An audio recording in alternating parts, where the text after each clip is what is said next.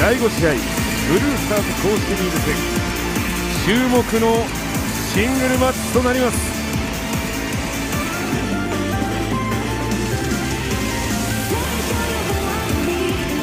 まずは大江戸対闇に踊るスカイタイガー。アーティスト・オブ・スターダムチャンピオン。この5スターグランプリ初の優勝決定戦進出。そして初制覇を狙っていきます。スターライト・キッドです。現在7勝4敗14点。何が何でも勝って16点に伸ばす。ブルースターズ1位の座。優勝決定戦の舞台に進みたい。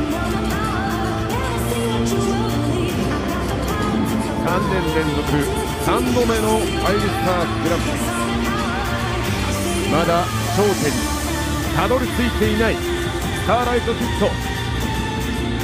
頂点にたどり着くための戦いその雌雄を決する戦い運命の糸が導いたかかつての仲間そして尊敬する先輩岩谷真由との一戦